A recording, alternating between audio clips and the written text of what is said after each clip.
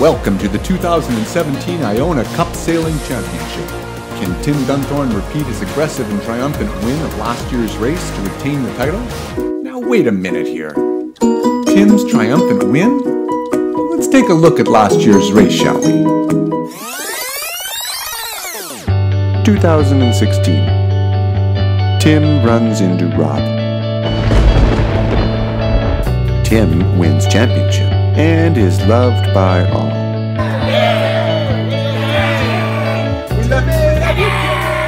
Fake news.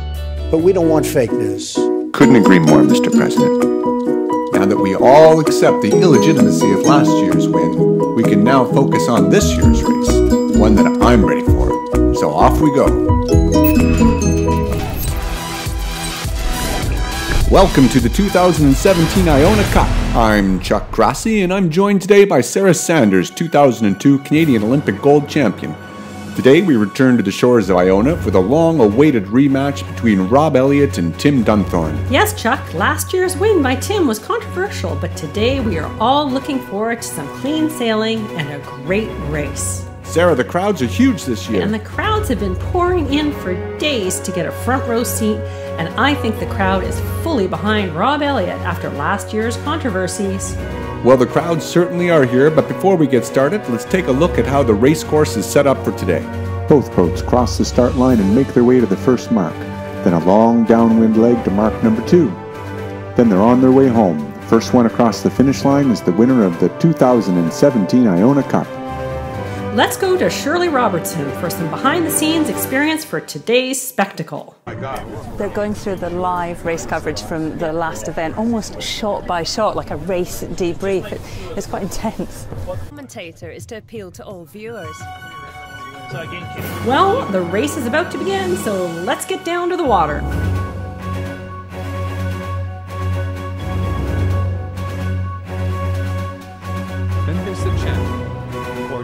Strong, it's already strong as the sport.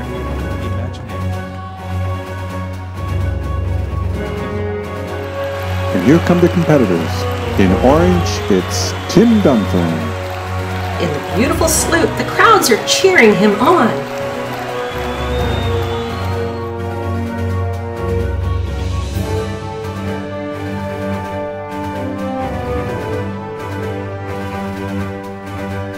Chuck, can you explain for our viewers what's going on here?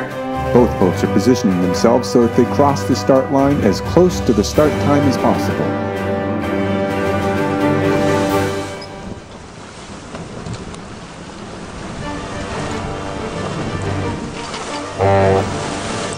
A great start for both competitors. Rob crossing the line at the precise time. What skill! It's a close race, both boats trading positions on this long run to the first mark. Rob is looking good with that last move and he has the advantage. Yes, Tim is working it hard, trying to eke out every bit of speed.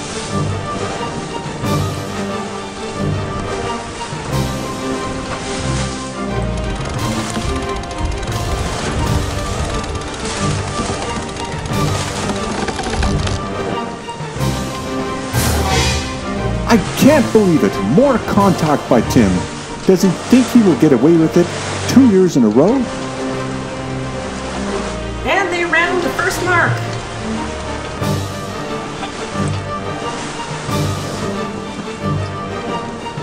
A true battle of champions.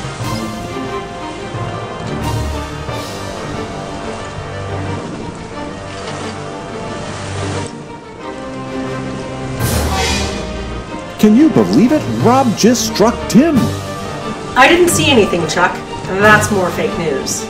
We're going to go over to our helicopter crew for an update. It looks like Elliot's having some problems out there. Uh, yes, Chuck, it appears he has some problems with his mainsail.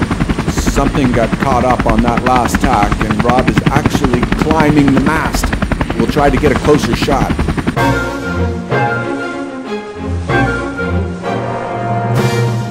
Amazing!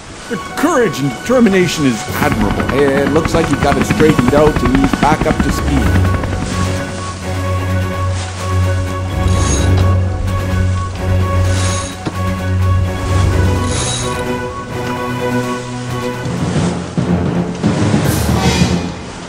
Another strike by Rob. Surely we'll see yellow flags by the committee boat.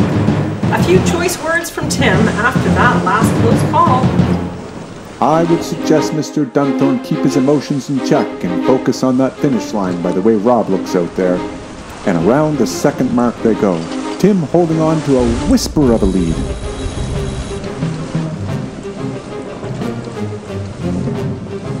He's chasing him down to the finish line.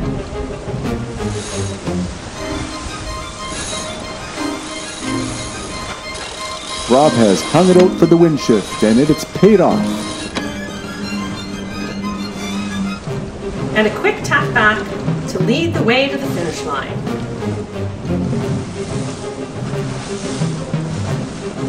And there we have it. It's Rob Elliot who takes the win.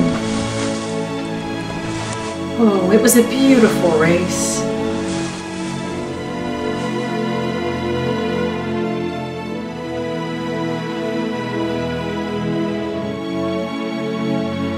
And we're off to the podium. And he raises the Poseidon Trophy. Okay, chew. So long, everybody. Hey, Chuck, do you want to come over and watch some Netflix and chill? You realize your mic is hot. Doesn't matter. I'm famous. You wouldn't know a fast sail if the boom hit you right in your head. Oh, that's mean. I'm not putting that in there. You kidding me? Fuck, try again. try again. God!